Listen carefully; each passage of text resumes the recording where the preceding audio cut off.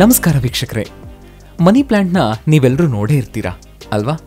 ಕೆಲವೊಬ್ರು ಇದನ್ನ ಅಲಂಕಾರಕ್ಕಾಗಿ ಬೆಳೆಸಿದ್ರೆ ಬಹುತೇಕ ಜನ ಇದನ್ನ ಹಣಕ್ಕಾಗಿ ಬೆಳೆಸಿರ್ತಾರೆ.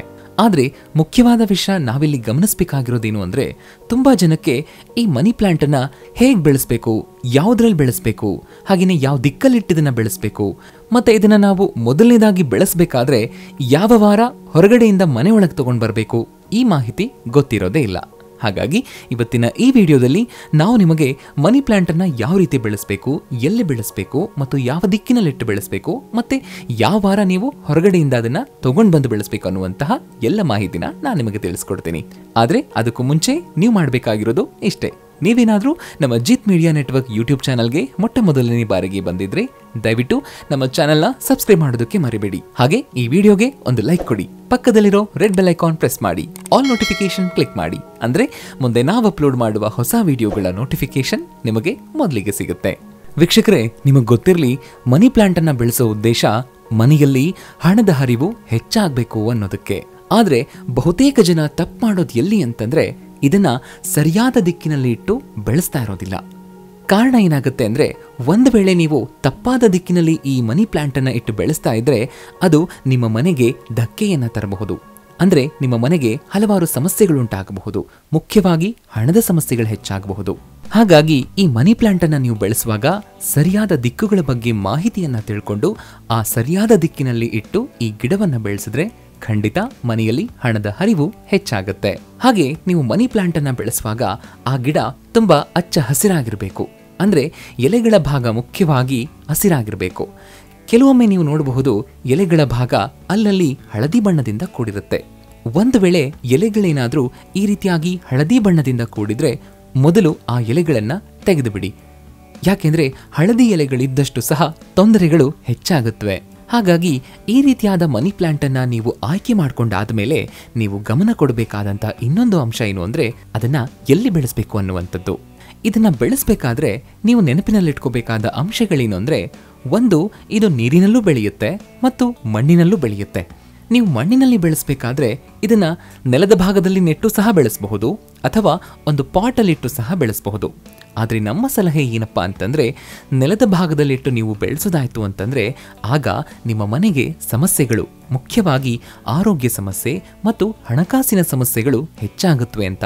ಹಾಗಾಗಿ ನೀವು ಪಾಟಲ್ಲಿ ಆ ಒಂದು ಮನಿ ಪ್ಲ್ಯಾಂಟನ್ನು ಇಟ್ಟು ಬೆಳೆಸುವಂಥದ್ದು ಸೂಕ್ತ ಅಂತ ಹೇಳಬಹುದು. ಹಾಗೆ ವೀಕ್ಷಕರೇ, ಈ ಮನಿ ಪ್ಲಾಂಟ್ ಅನ್ನ ಮನೆಯ ಹೊರಭಾಗದಲ್ಲಿ ಬೆಳೆಸುವುದಕ್ಕಿಂತ ನೀವು ಮನೆಯ ಒಳಭಾಗದಲ್ಲಿ ಬೆಳೆಸೋದು ಸೂಕ್ತ ಅಂತ ಹೇಳಬಹುದು.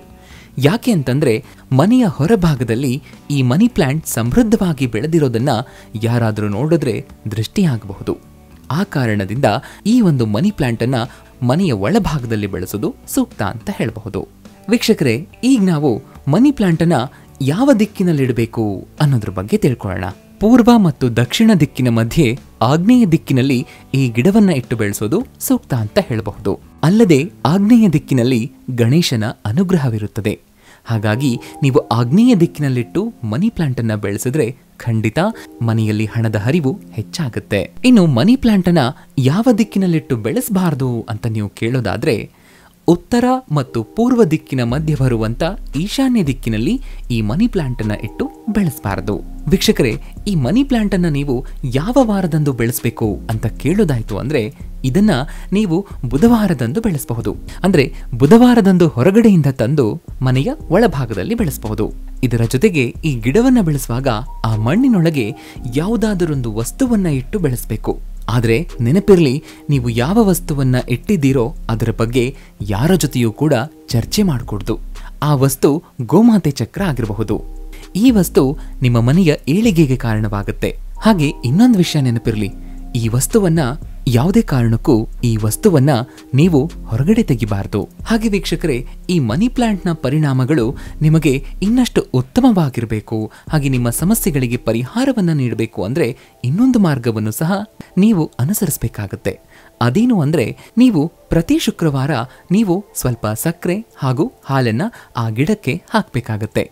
ಇದು ನಿಮ್ಮ ಹಲವಾರು ಸಮಸ್ಯೆಗಳಿಗೆ ಪರಿಹಾರವನ್ನು ತಂದುಕೊಡುತ್ತೆ. ಹಾಗೆ ಇದರ ಜೊತೆಗೆ ಇನ್ನೊಂದು ವಿಷಯ ಏನು ಅಂದ್ರೆ ಮನಿ ಪ್ಲಾಂಟ್ ಅನ್ನ ಯಾವುದೇ ಕಾರಣಕ್ಕೂ ಒಣಗೋದಕ್ಕೆ ಬಿಡಬಾರದು. ಅದು ಒಣಗದೇ ಇರುವ ರೀತಿಯಲ್ಲಿ ನಾವು ಅದನ್ನ ನೋಡ್ಕೊಳ್ಬೇಕಾಗತ್ತೆ. ಅದಕ್ಕೋಸ್ಕರ ಆ ಗಿಡಕ್ಕೆ ನಾವು ಪ್ರತಿದಿನ ಸ್ವಲ್ಪ ಸ್ವಲ್ಪ ನೀರನ್ನ ಹಾಕ್ತಾ ಇರಬೇಕು. ಅದು ಮನೆಯ ಒಳಭಾಗದಲ್ಲಿರೋದ್ರಿಂದ ಸ್ವಲ್ಪ ಪ್ರಮಾಣದ ನೀರು ಸಾಕಾಗುತ್ತೆ. ಈ ಮನಿ ಪ್ಲಾಂಟ್ ಅನ್ನ ನೀವು ಬೆಳೆಸಬೇಕಾದ್ರೆ ಎಷ್ಟು ಸಂಖ್ಯೆಯಲ್ಲಿ ಬೆಳೆಸಬೇಕು ಅನ್ನೋದು ಮತ್ತೊಂದು ಪ್ರಶ್ನೆ ಇರಬಹುದು ನಿಮಗೆ. ಅದಕ್ಕೆ ಉತ್ತರ ಏನಪ್ಪ ಅಂದ್ರೆ, ಯಾವಾಗಲೂ ಈ ಮನಿ ಪ್ಲಾಂಟ್ ಅನ್ನ ನೀವು ಬೆಳೆಸುವಾಗ ಸರಿ ಸಂಖ್ಯೆಯಲ್ಲಿರಬೇಕು. ಅಂದ್ರೆ ಎರಡು, ನಾಲ್ಕು ಅಥವಾ ಆರು ಈ ಸಂಖ್ಯೆಯಲ್ಲಿ ಗಿಡಗಳನ್ನ ಬೆಳೆಸಬೇಕು. ಇದರ ಜೊತೆಗೆ ಈ ಮನಿ ಪ್ಲಾಂಟ್ ಅನ್ನ ಮನೆಯ ಯಾವ ಭಾಗದಲ್ಲಿ ನೀವು ಇಡಬಾರದು ಅಂದ್ರೆ, ಬೆಡ್ರೂಮ್ ಜಾಗದಲ್ಲಿ ಇಡಕೂಡ್ದು. ಯಾಕೆಂದ್ರೆ ಬೆಡ್ರೂಮ್ ಜಾಗದಲ್ಲಿ ಈ ಮನಿ ಪ್ಲ್ಯಾಂಟನ್ನು ನೀವು ಇಟ್ಟಿದ್ದೇ ಆದರೆ ಗಂಡ ಹೆಂಡತಿಯ ಮಧ್ಯೆ ಹಲವಾರು ಮನಸ್ತಾಪಗಳು, ಜಗಳಗಳು ಆಗುವ ಸಾಧ್ಯತೆ ಇರುತ್ತೆ. ಹಾಗಾಗಿ ಈ ಗಿಡವನ್ನು ನೀವು ಮನೆಯ ಹಾಲ್ ಆಗಿರಬಹುದು, ಅಡುಗೆ ಮನೆ ಆಗಿರಬಹುದು, ಓದುವ ಕೋಣೆ ಆಗಿರಬಹುದು, ಈ ರೀತಿಯಾಗಿ ನಾವು ಇಡಬಹುದು. ಇದು ಅಲಂಕಾರವಾಗಿಯೂ ಕಾಣುತ್ತೆ ಮತ್ತು ಹಣದ ವಿಷಯದಲ್ಲೂ ಸಹಾಯ ಮಾಡುತ್ತೆ. ಇನ್ನೂ ಒಂದು ವಿಷಯ ಏನು ಅಂದ್ರೆ, ಈ ಗಿಡ ಎಷ್ಟು ಅಚ್ಚ ಹಸಿರಾಗಿ ಬೆಳೀತಾ ಹೋಗುತ್ತೋ ಅಷ್ಟು ಧನಲಾಭ ನಿಮ್ಮದಾಗುತ್ತೆ. ಹಾಗೆ ವೀಕ್ಷಕರೇ, ಈ ಮನಿ ಪ್ಲಾಂಟ್ ಅನ್ನ ಬೆಳೆಸೋದ್ರ ಬಗ್ಗೆ ತುಂಬಾ ಜನರಲ್ಲಿ ಒಂದು ದೊಡ್ಡ ತಪ್ಪು ಕಲ್ಪನೆ ಇದೆ. ಅದೇನು ಅಂತಂದ್ರೆ, ಈ ಮನಿ ಪ್ಲಾಂಟ್ ಅನ್ನ ಬೆಳೆಸುವಾಗ ನಾವು ಈ ಗಿಡವನ್ನ ಕದ್ದುಕೊಂಡು ಬರಬೇಕು ಅನ್ನುವಂಥ ಒಂದು ತಪ್ಪು ಕಲ್ಪನೆ ಇದೆ. ದಯಮಾಡಿ ನೀವು ಈ ರೀತಿ ಮಾಡಬೇಡಿ. ಆ ಥರ ಕದಿಯುವಂಥದ್ದು ತಪ್ಪಾಗುತ್ತೆ. ನೀವು ಸಾಧ್ಯವಾದರೆ ಒಬ್ಬ ಅನುಕೂಲಸ್ಥರ ಮನೆ, ಅಂದರೆ ಅವರು ಎಲ್ಲ ಥರನಿಂದ ಅನುಕೂಲವಾಗಿದ್ದು ಮತ್ತು ಅವರು ನಿಮಗೆ ಆ ಮನಿ ಪ್ಲಾಂಟನ್ನು ಕೊಡೋದಕ್ಕೆ ಒಪ್ಪಿಕೊಂಡ್ರು ಅಂತಂದರೆ ದಯಮಾಡಿ ಅಂಥವರಿಂದ ತಗೊಂಡು ಬರಬಹುದು. ಆದರೆ ನೆನಪಿರಲಿ, ಅಲ್ಲಿಯೂ ಸಹ ಅವರ ಕೈಗೆ ಸಾಧ್ಯವಾದಷ್ಟು ನೀವು ಹಣವನ್ನು ಕೊಡಬೇಕಾಗುತ್ತೆ. ಅದು ಐದು ರೂಪಾಯಿ ಇರಬಹುದು, ಹತ್ತು ರೂಪಾಯಿ ಇರಬಹುದು, ಐವತ್ತು ರೂಪಾಯಿ. ಆದರೆ ಯಾವುದೇ ಕಾರಣಕ್ಕೂ ಉಚಿತವಾಗಿ ತಗೊಂಡು ಬರಬಾರ್ದು. ಅಥವಾ ನೀವಿದನ್ನು ನರ್ಸರಿಯಿಂದಲೂ ಖರೀದಿ ಮಾಡಿ ತಗೊಂಡು ಬರಬಹುದು. ಆದರೆ ಯಾವುದೇ ಕಾರಣಕ್ಕೂ ಕದ್ದು ತಗೊಂಡು ಬಂದು ನಾವು ಮನಿ ಪ್ಲಾಂಟ್ ಅನ್ನ ಬೆಳೆಸಿದ್ರೆ ನಮ್ಮ ಮನೆಯಲ್ಲಿ ಹಣ ಹೆಚ್ಚಾಗುತ್ತೆ ಅನ್ನುವಂತಹ ತಪ್ಪು ಕಲ್ಪನೆಯನ್ನ ಪಾಲಿಸಬೇಡಿ. ಹಾಗೆ ವೀಕ್ಷಕರೇ, ಈ ಮನಿ ಪ್ಲಾಂಟ್ ಬೆಳೆಯುವಾಗ ಯಾವುದೇ ಕಾರಣಕ್ಕೂ ಅದು ಕೆಳಗಡೆ ಬಾಗದೇ ಇರೋ ರೀತಿಲಿ ನೀವು ನೋಡ್ಕೊಳ್ಬೇಕಾಗತ್ತೆ. ಅಂದ್ರೆ ಈ ಗಿಡಕ್ಕೆ ನೀವು ಏನಾದರೂ ಒಂದು ಆಸರೆಯನ್ನ ಕೊಟ್ಟು ಅದು ಯಾವಾಗಲೂ ನಿರಂತರವಾಗಿ ಮೇಲಕ್ಕೆ ಬೆಳೆಯುವ ರೀತಿಯಲ್ಲಿ ನೀವು ಅದನ್ನ ನೋಡ್ಕೊಳ್ಬೇಕಾಗತ್ತೆ.